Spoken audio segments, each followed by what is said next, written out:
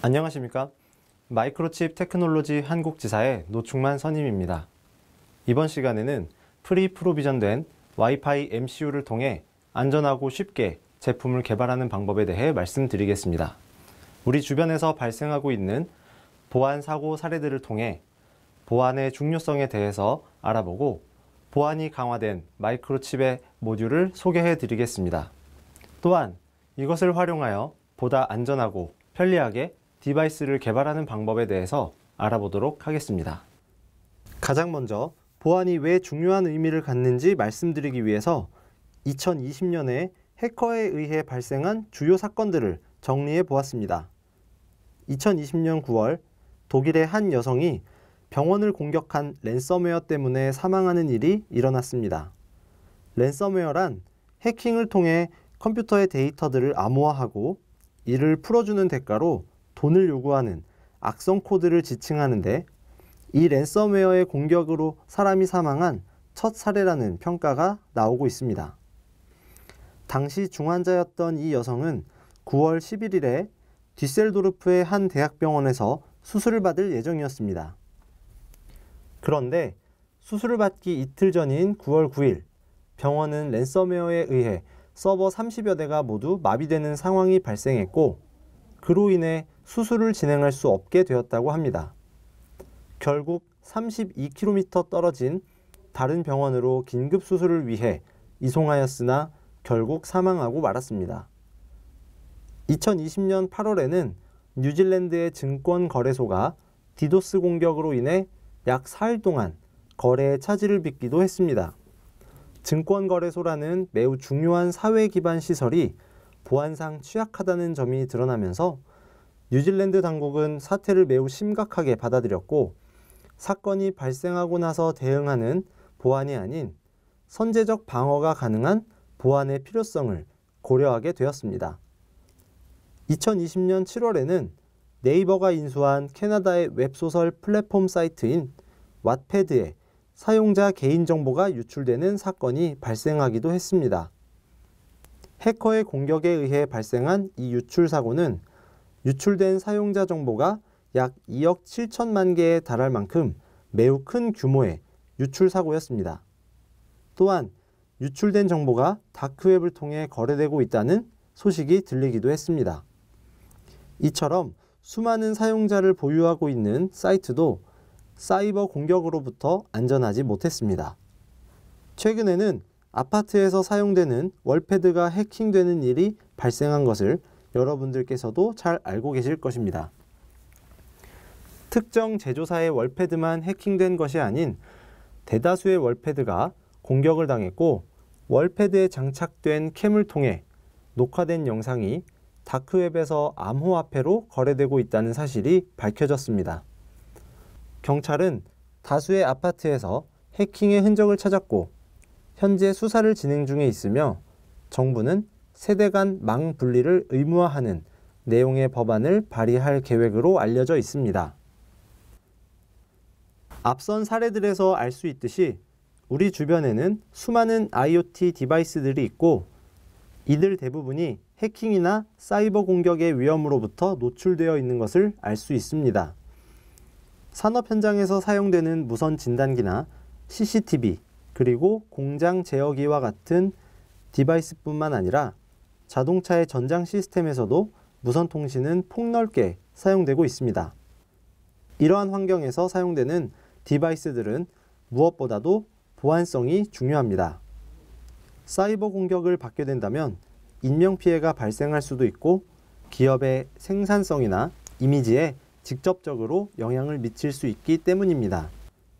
또한 개인이 사용할 수 있는 와이파이 동글이나 스마트홈을 위한 여러 가지 IoT 디바이스들의 경우에는 개인정보나 금융정보, 그리고 사생활까지 노출될 우려가 있기 때문에 마찬가지로 보안이 반드시 확보되어야 합니다. 그렇다면 우리는 어떻게 해킹의 위험에서부터 벗어날 수 있을까요? 보다 안전한 디바이스를 만들기 위해서는 어떤 것들이 필요할까요? 어쩌면 보안을 위해서는 많은 부분이 고려돼야 하겠지만 크게 세 가지 요소를 꼽아 볼 수 있습니다. 가장 먼저 신뢰성이 보장되는 고유한 아이덴티티를 사용해야 한다는 것입니다. 해킹의 여러 가지 형태 중에서 많은 부분을 차지하고 있는 man in the middle, 즉 중간자 공격이라는 것이 있습니다. 이 공격의 경우 통신을 시도하는 A와 B 사이에 C가 침투하여 자신의 신분을 위장한 뒤 A와 B가 주고받는 정보를 탈취 또는 악용하는 공격 형태를 말합니다.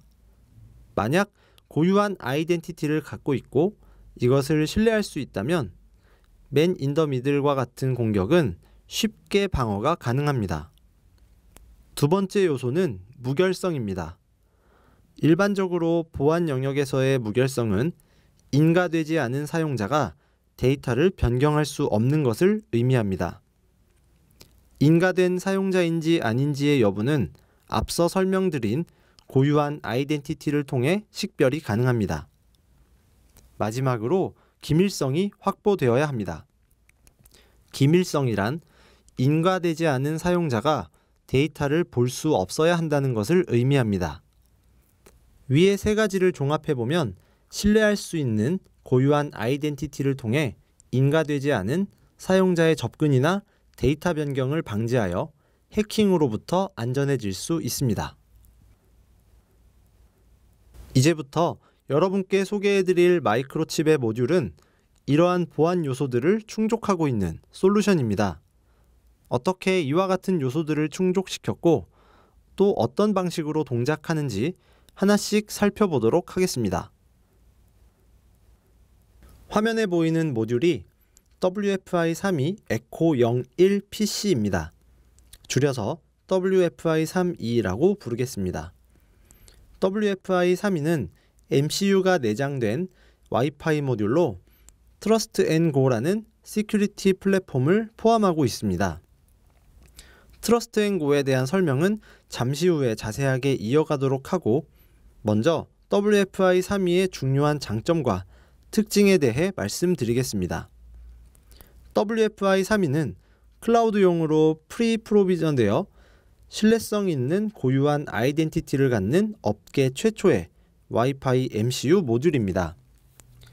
여기서 언급된 고유한 아이덴티티와 Pre-provision에 대해서 말씀드리면 WFI32 모듈은 생산 과정에서 각각의 칩이 고유한 아이덴티티를 부여받도록 되어 있습니다. 사람에 비유하면 마치 주민등록을 통해 신원 파악이 가능하도록 하는 개념으로 이해하시면 될 것 같습니다.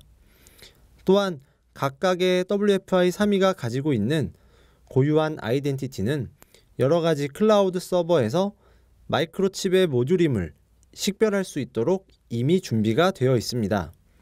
따라서 이와 같이 아이덴티티가 사전에 미리 설정되어 있고 준비되어 있는 것, 이것이 pre-provision의 의미입니다.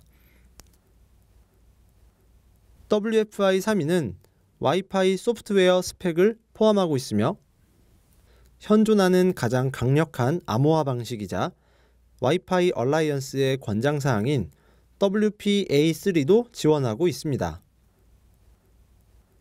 이러한 장점들만으로도 작은 규모의 시스템이나 어플리케이션에서는 높은 보안 수준을 이미 달성한 것이기 때문에 별도의 보안을 위한 추가적인 리소스가 발생하지 않는 효율성을 얻을 수 있습니다.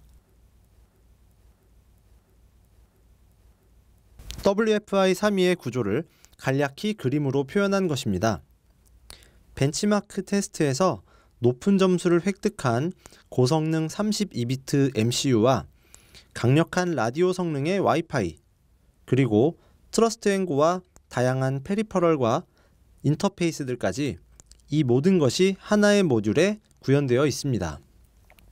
UART, I2C, SPI, CAN, GPIO, 그리고 ADC 등 다양한 페리퍼럴을 지원하기 때문에 어플리케이션을 구현함에 있어서 확장성이 매우 좋습니다.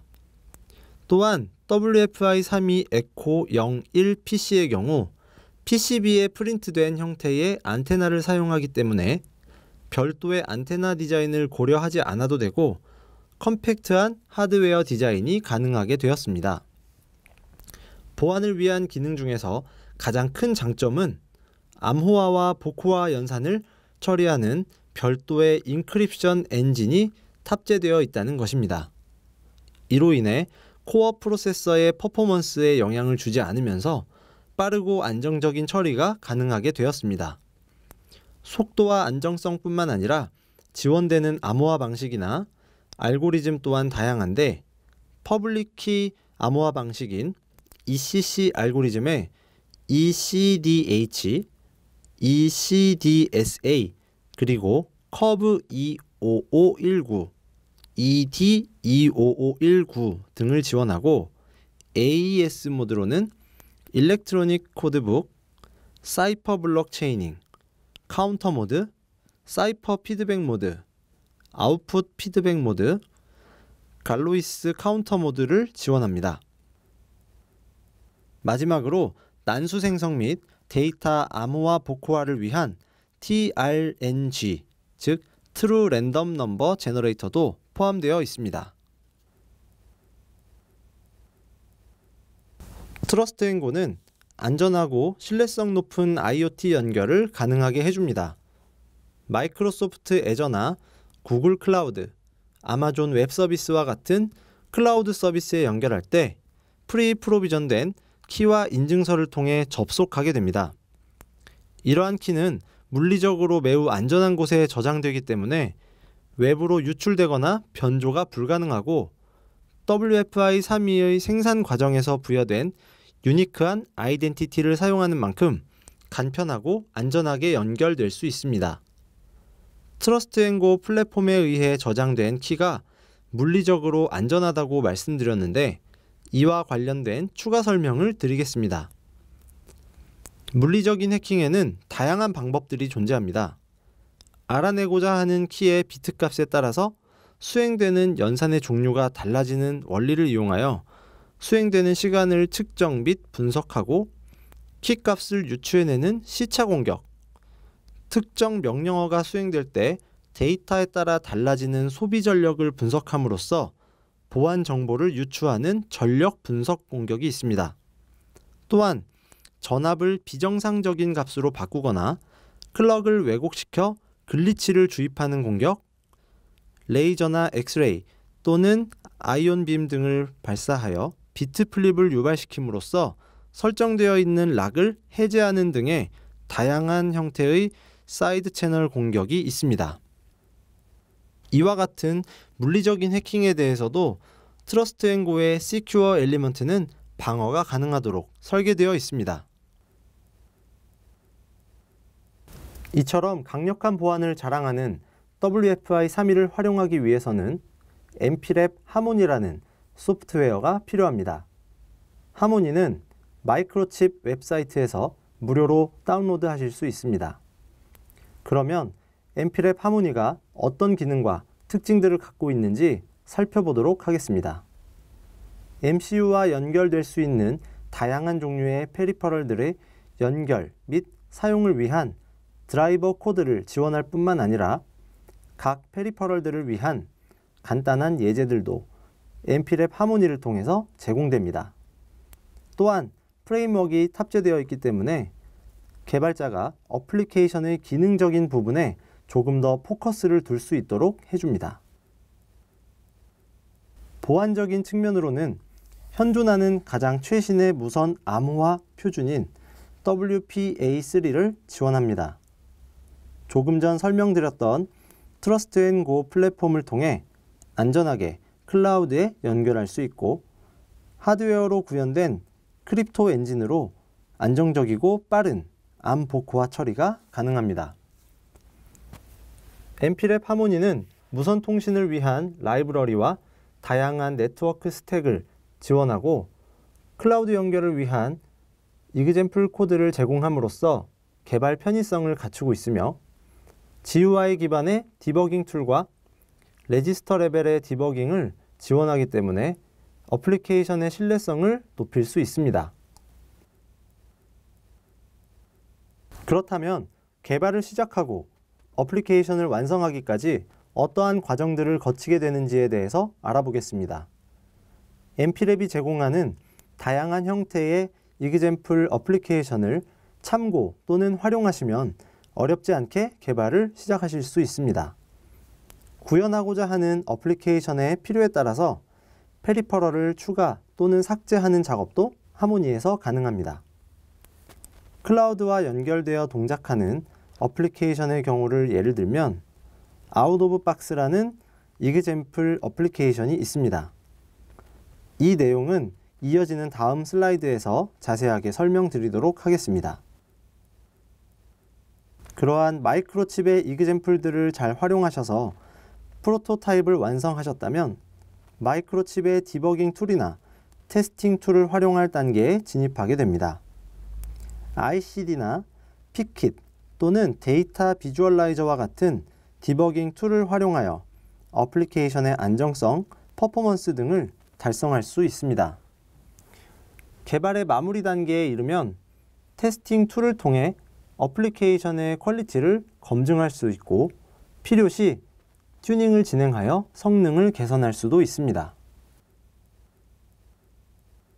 이렇듯 prototyping도 쉽고 디버깅도 쉬운 강력한 툴을 어떻게 사용하는지 그 방법에 대해 알아보도록 하겠습니다. 마이크로칩은 개발 시작 단계에서의 어려움을 최소화할 수 있도록 소프트웨어나 디버깅 툴을 지원하는 것 이외에도 개발과 평가를 쉽게 할 수 있도록 Curiosity 보드를 제공하고 있습니다. 화면에 보이는 보드가 WFI 3.2 모듈을 탑재한 Curiosity 보드의 사진입니다. 이 보드의 구성을 보시면 여러 종류의 헤더들이 장착되어 있는 것을 확인하실 수 있는데 높은 확장성으로 인해 다양한 종류의 application을 구현하실 수 있습니다. 또한 저희 마이크로칩은 PIC32 MZW1 Curiosity 보드를 위한 example 코드를 제공하고 있습니다. 마이크로칩 웹사이트 또는 마이크로칩 GitHub를 통해 앞서 말씀드렸던 out of box 데모를 다운로드하거나 직접 실행해 보실 수 있습니다.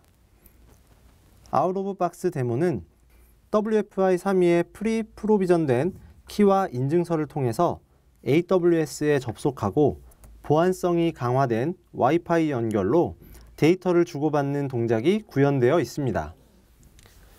Curiosity 보드에 장착된 온도 센서의 값을 AWS로 전송함으로써 사용자가 AWS를 통해 온도 값을 눈으로 확인할 수 있도록 하는 application입니다.